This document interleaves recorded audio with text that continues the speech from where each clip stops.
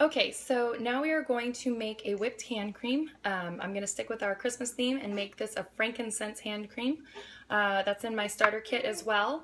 Um, you could also try lavender, stress away, uh, peppermint, um, really whatever scent that you prefer. Um, and I'm just going to use a mini, uh, mini chopper for this. You can also use a hand beater or um, a food processor. Um, and we're going to add uh, one cup of shea butter and then we are doing a fourth a cup of um, coconut oil. And you're just going to put your lid on. On. Put that down a little bit. Put your lid on there. And I am holding a baby, so I am doing this one-handed. She is still with me, folks. Um, I'm just going to mix that up.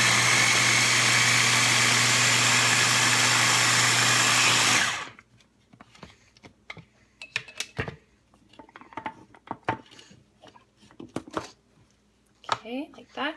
You're going to add your frankincense or whatever you choose to that. Um, anywhere from, I don't know, 10 to 30 drops depending on how strong you want this.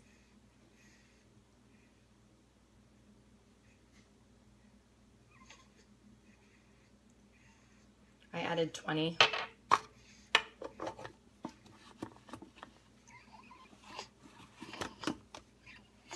Okay, blend it up again.